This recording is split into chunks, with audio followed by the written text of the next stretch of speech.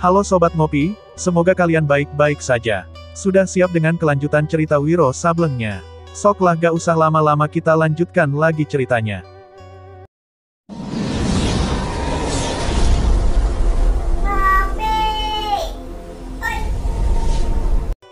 Setan pikulan kertakan rahang. Tiga pasang senjata di tangan musuh-musuhnya itu adalah senjata-senjata mustika sakti.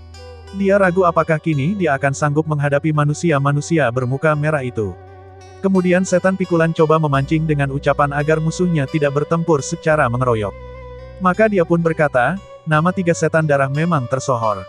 Tapi hari ini aku sendiri menyaksikan, bahwa mereka cuma manusia bernyali rendah. Bangsa pengecut kelas wahid yang beraninya main keroyok. Setan darah pertama, tunjukkanlah bahwa kau bukan seorang pengecut. Mari kita bertempur satu lawan satu sampai seribu jurus. Setan darah pertama tertawa gelak-gelak. Sampai seribu jurus katamu. Tiga jurus pun kau belum tentu bisa bertahan manusia kacoak. Betapa memalukan kalau dunia persilatan mengetahui, bahwa tiga setan darah beraninya cuma main keroyok. Persis macam anjing-anjing kurap yang mengeroyok seekor kucing yang ditakutinya. Marahlah setan darah pertama mendengar cacian anjing kurap itu. Dia berikan isyarat pada dua kawannya. Serentak dengan itu ketiganya segera menyerbu setan pikulan. Enam senjata laksana taburan hujan menderu mencari sasaran di tubuh setan pikulan. Yang dikeroyok mempertahankan diri dengan sebat. Keringat telah membasahi tubuh setan pikulan yang cuma mengenakan cawat itu. Gerakan dan putaran pikulannya semakin sebat, namun sesungguhnya daya pertahanan manusia ini jurus demi jurus semakin lemah. Beberapa kali ujung-ujung pikulannya beradu dengan salah satu senjata lawan, membuat senjata itu kadang-kadang hampir terlepas dan genggamannya yang licin oleh keringat. Sampai berapa lama lagi kau akan sanggup bertahan munding sura? Mengejek setan darah pertama. Sampai batok kepalamu hancur oleh ujung senjataku ini, sahut setan pikulan seraya tusukkan ujung pikulannya ke kepala lawan.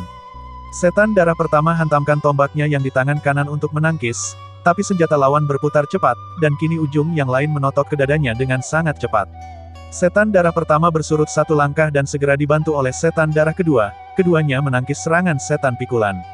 Tiga senjata bentrokan satu sama lain mengeluarkan suara keras. Tiga tangan tergetar. Begitu senjatanya membentur senjata lawan, setan darah pertama cepat pergunakan ujung tombaknya yang bermata dua untuk menjepit ujung pikulan. Dan dia berhasil. Segera tombak hendak diputarnya. Tapi setan pikulan tidak bodoh. Pikulan digerakkannya dari atas ke bawah. Ujung yang lain menderu ke bawah perut setan darah pertama. Tiba-tiba dia membentak keras. Senjatanya menyapu membuat satu lingkaran, sedang dari balik cawatnya dikeluarkannya senjata rahasia berbentuk paku rebana. Awas paku rebana beracun, teriak setan darah pertama. Tiga setan darah masing-masing kebutkan lengan jubah mereka. Sinar merah yang keluar dari ujung lengan jubah itu, membuat mental sembilan buah paku-paku rebana yang dilepaskan setan pikulan. Dan kembali diputarnya senjatanya dengan sebat. Namun serangan-serangannya tiada berarti. Daya tahannya semakin kendur. Pada jurus ke-29, kedua ujung senjatanya sekaligus beradu dengan gada serta tombak lawan. Di detik itu pula sepasang golok setan darah ketiga membabat dari atas ke bawah, hendak membabat pangkal lehernya dari dua jurusan. Tak ada cara lain yang paling baik untuk menghindarkan diri daripada menjatuhkan badan ke bawah. Dan memang inilah yang dilakukan oleh si Kate Munding Sura. Sambil jatuhkan diri, manusia ini kirimkan satu tendangan ke arah bawah perut setan darah ketiga. Setan darah ketiga keliwat yakin bahwa bacokan sepasang goloknya akan berhasil, sehingga dia melupakan pertahanan dirinya sendiri. Kecepatan golok-golok itu tak dapat renendahului kecepatan jatuhnya tubuh setan pikulan. Golok setan darah ketiga beradu satu sama lain, sebaliknya tendangan setan pikulan cuma sedikit saja dapat dilaksanakannya. Tendangan setan pikulan mendarat di pinggul kiri setan darah ketiga. Manusia ini terpelanting beberapa tombak, dan untuk beberapa lamanya tergelimpang di lantai kamar merintih kesakitan. Meski berhasil mengelakkan serangan golok-golok maut tadi, dan membuat setan darah ketiga melingkar di lantai, namun posisi setan pikulan sendiri di saat itu tidak menguntungkan sama sekali. Salah satu ujung pikulannya telah dijepit sepasang tombak bermata dua, dan dalam keadaan tubuh masih membungkuk di lantai begitu rupa, sukar bagi setan pikulan untuk melepaskan jepitan senjata lawan atas senjatanya. Hanya ada dua keputusan yang harus diambil oleh setan pikulan.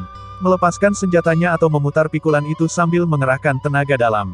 Setan pikulan merasa lebih baik memutar senjatanya sekalipun pikulan itu akan patah, daripada menyerahkan senjata tersebut mentah-mentah ke tangan lawan.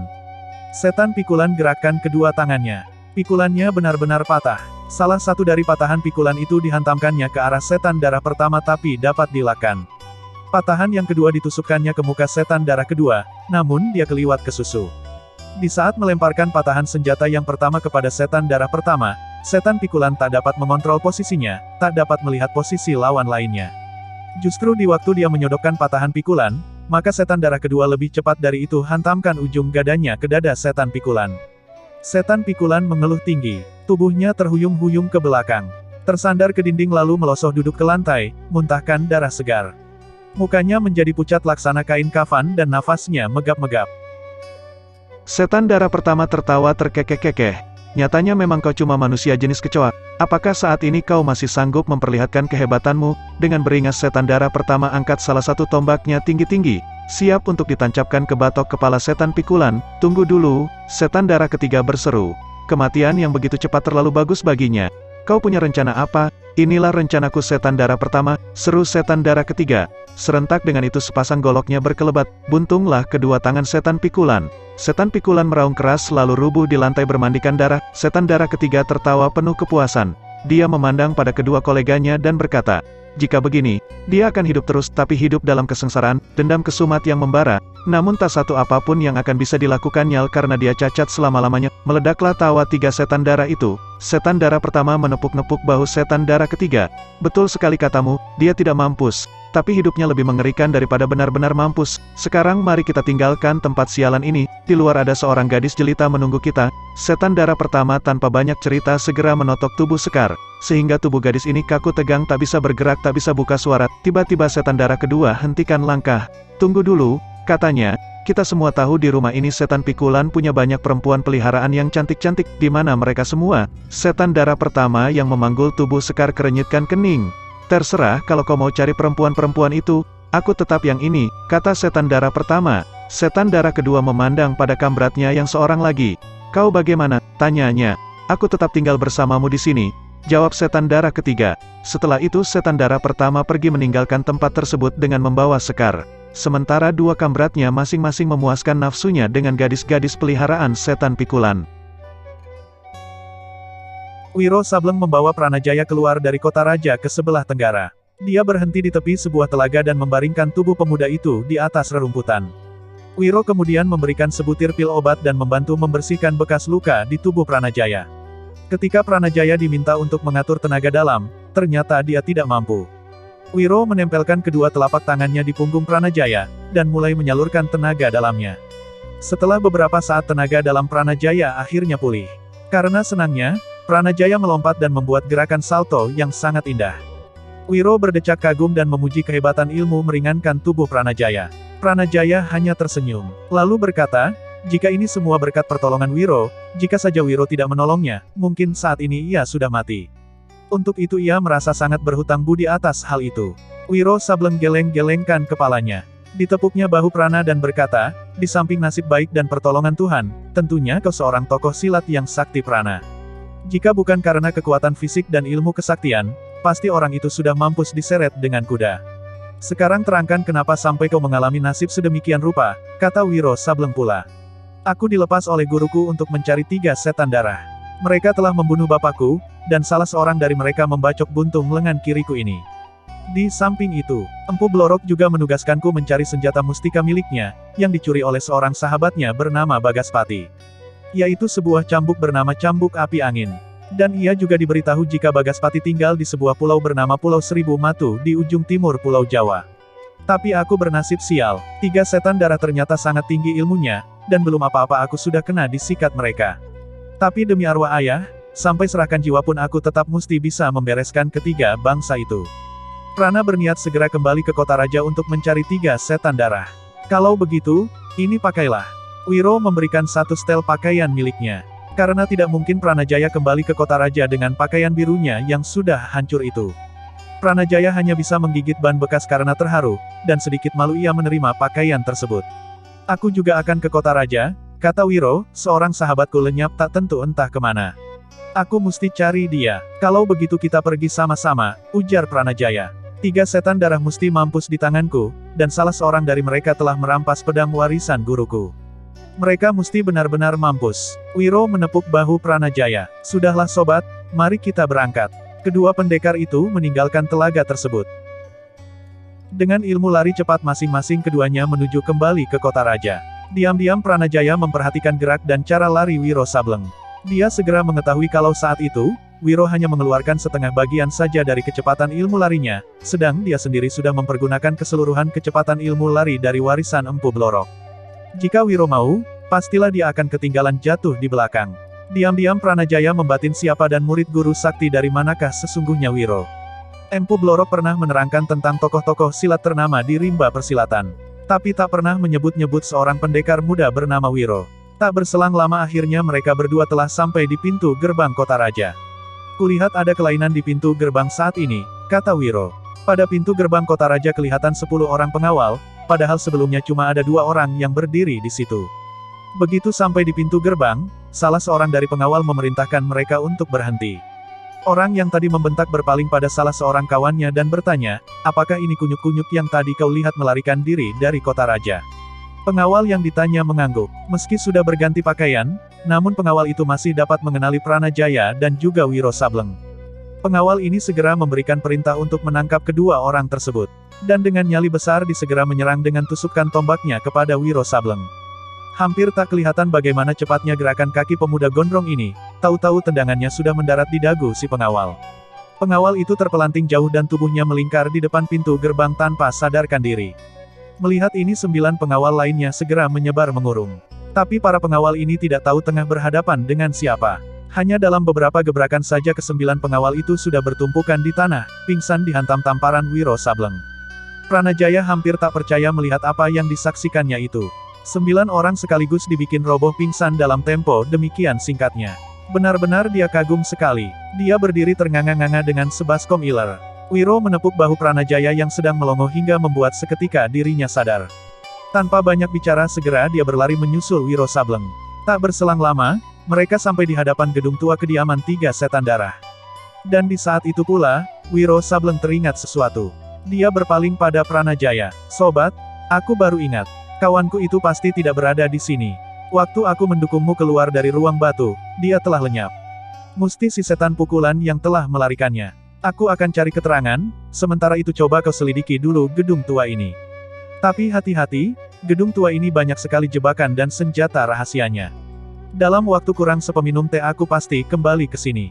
Pranajaya mengangguk, lalu cepat-cepat memasuki halaman gedung kediaman tiga setan darah. Di pintu samping yang sebelumnya telah didobrak Wiro, Pranajaya berhenti dan merenung sejenak. Kalau gedung tua itu banyak jebakan dan alat rahasianya, maka menurut dia jalan yang paling aman untuk masuk ke dalam gedung itu ialah lewat genteng. Maka tanpa pikir lebih jauh lagi, murid empu blorok ini segera melompat ke atas atap gedung tua. Kedua kakinya menginjak genteng gedung tanpa menimbulkan suara sedikitpun. Ketika dia matanya melihat ke sebuah kamar melalui celah genteng, maka terkesiaplah darahnya. Setan darah Durjana, rupanya kau bukan cuma tukang jagal manusia, tapi juga laknat terkutuk tukang rusak kehormatan perempuan. Abis berteriak begitu Pranajaya menyerbu turun ke dalam. Seperti telah dituturkan sebelumnya, setan darah pertama dengan memboyong Sekar dari tempat kediaman setan pikulan. Manusia bermuka merah ini langsung membawa Sekar ke gedungnya, membaringkan gadis itu di lantai salah sebuah kamar. Gedung tua itu hampir tidak berperabotan bahkan satu tempat tidur pun tak terdapat di sana. Saat itu Sekar masih berada dalam keadaan tertotok. Tak satu pun yang dapat dibuat Sekar, sewaktu setan darah pertama membuka pakaian gadis itu satu demi satu. Gadis itu tertelentang di lantai kamar tanpa sehelai pakaian pun menutupi tubuhnya yang mulus itu kini. Senjata rantai petaka bumi yang ditemui setan darah pertama melilit di pinggang Sekar, kemudian diletakkannya di sudut kamar. Setan darah pertama menyeringai. Kemudian tanpa menunggu lebih lama manusia bermuka merah ini membuka jubahnya. Jubah itu dilemparkannya ke sudut kamar. Sepasang tombak bermata dua dan pedang milik Pranajaya diletakkannya dekat kepala Sekar. Manusia ini baru saja berbaring dan menggelungi tubuh Sekar dengan kaki dan tangannya, sewaktu laksana halilintar di siang hari bolong dia mendengar suara bentakan menggeledek, dan bobolnya genteng di atas kamar itu. Setan darah Durjana, rupanya kau bukan cuma tukang jagal manusia, tapi juga laknat terkutuk tukang rusak kehormatan perempuan.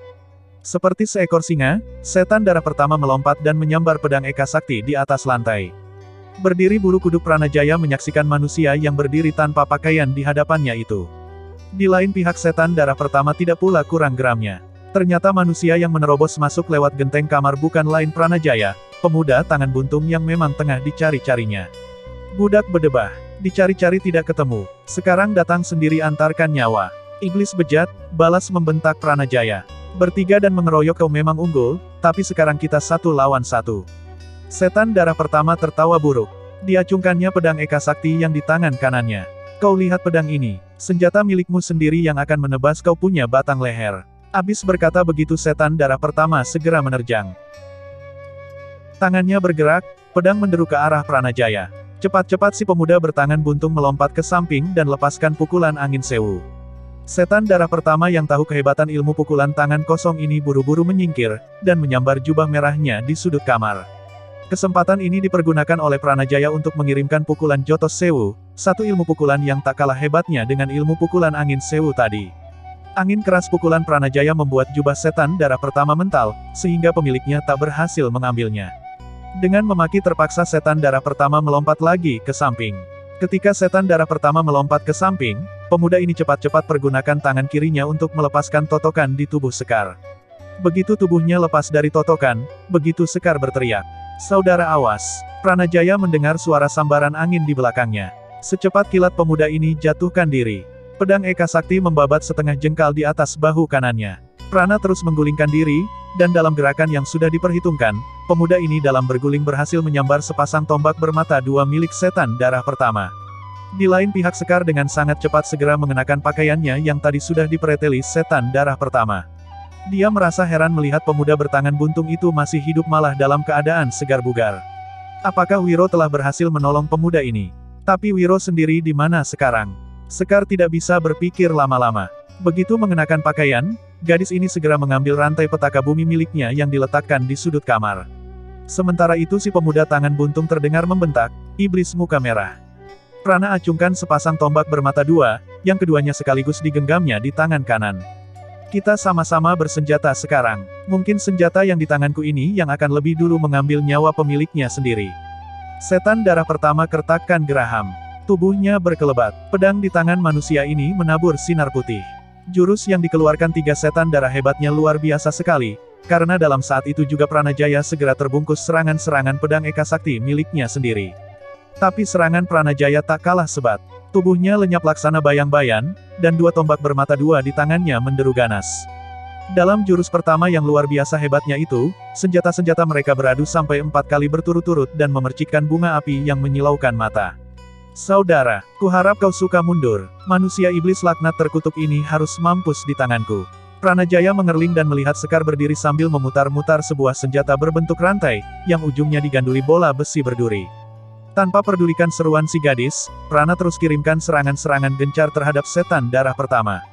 Dalam pertemuannya pertama kali di luar kota raja, Pranajaya memang tiada sanggup menghadapi setan darah pertama, karena dia dikeroyok tiga. Namun kali ini pertempuran jauh berbeda, satu lawan satu. Dan luar biasanya lagi ialah, karena mereka bertempur dengan memegang senjata milik lawan masing-masing. Saudara, mundurlah, seru Sekar. Gadis ini sudah tak dapat menahan kesabaran dan dendam kesumatnya terhadap setan darah pertama, manusia yang telah menelanjangi dan hampir saja merusak kehormatannya. Tidak bisa saudari, seru Pranajaya membalas. Bangsat yang satu ini mesti mampus di tanganku. Nyawanya milikku, teriak Sekar, dan dia melompat sambil menyabetkan rantai petaka bumi. Senjata itu menderu laksana angin topan, membuat kedua orang yang bertempur terpaksa sama-sama melompat mundur. Saudari, kuharap kau jangan mencampuri urusan ini. Kau telah selamat, sebaiknya lekas-lekas berlalu tinggalkan tempat ini. Sebelum kupecahkan kepala bangsat bermuka iblis ini, aku tak akan tinggalkan tempat ini, sahut Sekar Ketus. Sementara kedua orang itu berdebat, setan darah pertama memutar otak. Dia cuma seorang diri di situ, menghadapi dua lawan yang sama-sama inginkan jiwanya. Meski kedua orang itu kini saling bertengkar, namun bukan tidak mustahil keduanya akan sama-sama menggempurnya bersamaan. Dalam pertempuran beberapa jurus tadi, setan darah pertama telah pula dapat mengukur kehebatan Pranajaya. Satu lawan satu memang sukar juga baginya untuk menghadapi pemuda tangan buntung itu. Satu-satunya jalan yang paling baik bagi setan darah pertama saat itu, ialah kabur dari situ dan kembali lagi bersama dua orang konco-konconya. Tanpa pikir panjang manusia bermuka merah ini segera menyambar jubahnya dan melompat ke atas genteng. Tapi kejut setan darah pertama bukan olah-olah, sewaktu dari atas genteng dari mana Pranajaya menerobos tadi, bersiur angin laksana badai melanda ke arahnya, membuat tubuhnya terhempas hampir jatuh duduk di lantai kamar, jika dia tidak cepat melompat ke samping dan jungkir balik dua kali berturut-turut. Sebelum dia mendongak ke atas, sepasang telinga setan darah pertama mendengar suara tertawa gelak-gelak. Sesosok tubuh muncul di atas atap dan duduk di palang kayu. Dua muda-mudi bertengkar rebutkan jiwa manusia busuk. Si busuk cari kesempatan untuk larikan diri. Prana dan Sekar menengadah ke atas genteng, dan kedua orang ini sama-sama berseru memanggil nama si pemuda. Sekar terkejut sewaktu melihat Prana Jaya kenal pada Wiro Sableng. Setan darah pertama memandang penuh amarah meluap ke atas genteng itu. Sambil kenakan jubahnya dengan cepat, setan darah pertama membentak keras. Bagus sekali. Semua musuh-musuhku sudah lengkap di sini. Silahkan turun pemuda Edan. Mulutmu terlalu besar. Apakah kamrat-kamratmu yang dua orang lainnya juga ada di sini? Tak usah banyak mulut. Jika punya nyali silahkan turun. Kalau tidak, lekas minggat dari sini. Mendengar ini Wiro Sableng tertawa gelak-gelak. Setan darah pertama berteriak memancing. Kalau kau tak berani baku hantam di sini, aku masih bersedia melayanimu di halaman luar. Bertempur di halaman luar lalu cari kesempatan untuk larikan diri lagi. Wiro Sableng tertawa lagi gelak-gelak. Setan darah pertama mendamprat dalam hati karena pancingannya diketahui lawan. Agaknya dia tak punya kesempatan lain daripada harus menghadapi ketiga musuh-musuhnya itu, atau sekurang-kurangnya salah seorang dari mereka. Diam-diam setan darah pertama salurkan seluruh tenaga dalamnya pada kedua ujung tangannya. Tiba-tiba dia membentak garang. Satu tangan meninju ke atas, tangan yang lain menjentik ke arah Pranajaya dan Sekar. Selarik besar sinar merah yang sangat panas menderu ke arah Wiro Sableng, yang duduk ongkang-ongkang di atas atap kamar, sedang lima larikan kecil sinar merah yang merupakan totokan-totokan beracun menyambar laksana kilat ke arah Sekar dan Pranajaya. Sekar putar rantai petaka bumi, Prana menghindar ke samping sambil kiblatkan sepasang tombak bermata dua milik setan darah pertama. Di atas genteng Wiro kelihatan gerakan tangan kirinya. Satu angin dingin menderu memapasi angin merah panas setan darah pertama, dan membuat buyar serangan manusia muka merah itu. Penuh beringas setan darah pertama melompat ke atas dan menyerang dengan pedang Eka Sakti milik Pranajaya. Kini Wiro Sableng gerakkan tangan kanannya. Gumpalan angin keras menyambar ke arah setan darah pertama. Inilah pukulan kunyuk melempar buah yang tak asing lagi. Meski cuma mempergunakan setengah bagian saja dari tenaga dalamnya dalam melancarkan pukulan ini, namun tak urung setan darah pertama terkejut hebat, dan cepat-cepat menyingkir ke samping dan kembali turun ke lantai. Keringat dingin memercik di muka manusia yang berwarna merah itu. Nyalinya benar-benar menciut. Setan muka merah. Apakah kau betul-betul tidak tahu di mana dua kamratmu yang lain berada? Tanya Wiro Sableng dari atas. Di mana mereka berada itu bukan urusanmu, jawab setan darah pertama. Wiro tertawa lagi. Rupanya kau sendiri kurang begitu tahu. Biar aku tunjukkan di mana mereka berada, kata Wiro pula. Kedua tangannya kelihatan meraih sesuatu. Sesaat kemudian dua sosok tubuh manusia berjubah merah, laksana dua batang pisang melesat ke bawah, jatuh dengan keras di atas lantai kamar di hadapan setan darah pertama. Muka setan darah pertama berubah pucat.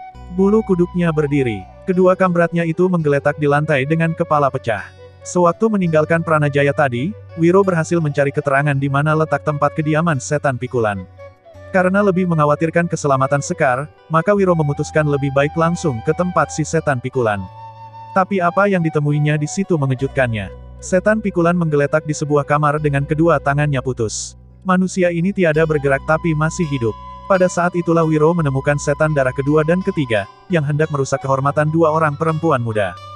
Hanya dalam dua jurus saja setan darah kedua dibikin tak berdaya dimakan totokan Wiro. Nasib setan darah ketiga tidak beda dengan kawannya. Satu jurus bertempur manusia ini segera kena ditotok oleh Wiro, dan sekaligus keduanya dibawa oleh Wiro ke gedung tua tempat kediaman tiga setan darah.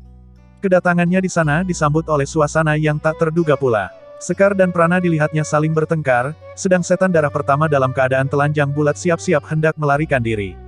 Untuk beberapa lamanya muka setan darah pertama masih memucat dan kedua lututnya goyah, menyaksikan kematian dua orang koleganya itu di depan hidungnya sendiri. Putus asa karena mengetahui tak ada jalan untuk lari serta kalap melihat kematian kawan-kawannya. Maka tiga setan darah pertama kiblatkan pedang Eka Sakti dan mengamuk menerabas Sekar serta Pranajaya. Maka pertempuran seru segera terjadi. Wiro meminta Sekar untuk mundur, tapi gadis ini menolak dengan tegas. Setelah Wiro memberikan penjelasan singkat, akhirnya si gadis bersedia mengalah dan mundur dari kalangan pertempuran. Laksana banteng terluka manusia berjubah merah ini mengamuk hebat dan ganas sekali. Serangan-serangannya berbahaya dan penuh tipu-tipu licik. Namun itu semua tiada arti bagi Pranajaya, yang menghadapi musuhnya itu dengan penuh ketenangan. Dalam jurus ke-21, laksana seorang penari balet Pranajaya meliuk, mengelakkan sambaran pedang Eka Sakti yang dibabatkan setan darah pertama ke pinggangnya. Pedang itu membalik lagi dengan ganasnya. Prana geser kedua kaki dan tusukkan sekaligus kedua tombak yang dalam genggamannya ke muka setan darah pertama. Iblis bermuka merah ini rundukkan kepala. Tapi tusukan tadi cuma tipuan belaka, karena begitu pedang lawan lewat, dan tusukan tombaknya terdorong ke muka, dengan serta-merta Pranajaya gebukkan sepasang tombak itu ke kepala setan darah pertama. Setan darah pertama melompat ke samping. Tapi betapapun cepatnya dia tetap terlambat. Meski bisa selamatkan kepala, namun dia tak sanggup menghindarkan bahunya dari hantaman senjata miliknya sendiri itu. Tulang bahu setan darah pertama yang sebelah kanan hancur remuk. Setan darah pertama melolong macam anjing. Tubuhnya miring dan terjerongkang ke lantai. Dalam keadaan seperti itu dia masih hendak menyapukan pedang di tangan kanannya ke kaki Prana, tapi senjata itu terlepas dari tangannya yang sudah tak ada daya kekuatan lagi. Empat mata tombak ditekankan oleh Pranajaya ke batang leher setan darah pertama. Tenggorokan manusia muka merah ini kelihatan turun naik. Mukanya mengerenyit dan keringat membasahi sekujur tubuhnya. Setan darah, desis Pranajaya. Apa kau masih ingat saat-saat sewaktu kau membunuh ayahku dulu? Apa kau masih ingat sewaktu tangan kiriku ini kau buntungkan dulu? Prana lemparkan ke samping dua tombak milik setan darah pertama dan membungkuk cepat mengambil pedangnya. Setan darah pertama gerakan tubuhnya sedikit, tapi ujung pedang kini menggantikan empat mata tombak yang menekan batang lehernya. Apa yang dulu kau lakukan terhadap bapakku, kini akan kau rasakan sendiri setan darah. Setan darah pertama meraung setinggi langit. Pedang Eka Sakti membabat buntung lengannya. Kemudian dengan tak ampun lagi pemuda itu tusukkan ujung pedangnya ke batang leher setan darah pertama. Manusia ini mengeluarkan suara seperti ayam disembelih. Tubuhnya masih melejang-lejang beberapa lama, kemudian diam tak bergerak lagi tanda nyawanya sudah lepas meninggalkan tubuh. Sobat-sobat, urusan kita di sini sudah selesai. Mari segera tinggalkan tempat sialan ini, seru Wiro Sableng. Namun baru saja ketiga orang itu sampai di halaman luar, terkejutlah mereka. Kira-kira 50 orang prajurit kerajaan telah mengurung tempat itu, dan delapan manusia aneh berdiri memencar, memandang dengan pandangan yang menggigitkan ke arah mereka. Salah seorang dari yang delapan ini berteriak. Suaranya melengking macam perempuan. Tikus-tikus bermuka manusia. Jangan harap kalian bisa berlalu hidup-hidup dari sini.